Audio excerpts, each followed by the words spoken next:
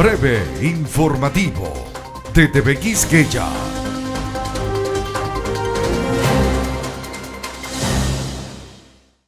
El director de los Centros de Control y Prevención de Enfermedades CDC de Estados Unidos aprobó ayer el uso de vacuna COVID-19 actualizada como segunda inyección anual para adultos de 65 años o más la recomendación final de la directora Mandy Cohen se produce después de que un grupo asesor de expertos de los CDC dijera que los adultos estadounidenses de 65 años o más deberían recibir una segunda vacuna anual contra el COVID-19 esta primavera, fortaleciendo las recomendaciones del año pasado.